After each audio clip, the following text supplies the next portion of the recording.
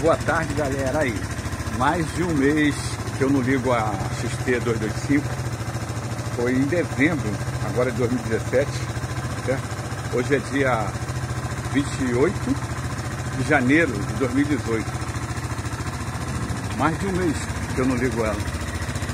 Deu um trabalho, deu um certo trabalho para pegar, porque a bateria arriou, né?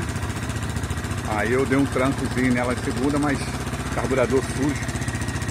Aí liberei a gasolina aqui do carburador e coloquei o nosso mágico WD-40 para dar uma limpeza aqui no carburador, limpeza expressa. Limpou, está trabalhando aí.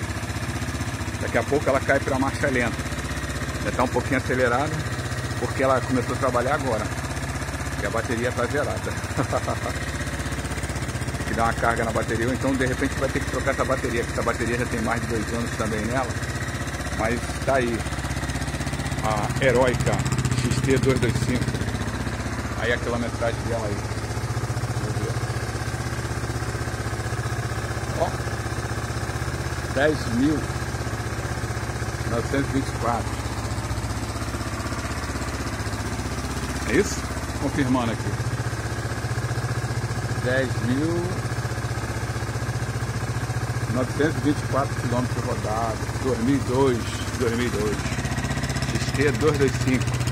Valeu, galera. Fiquem com Deus aí. Grande abraço. Fui.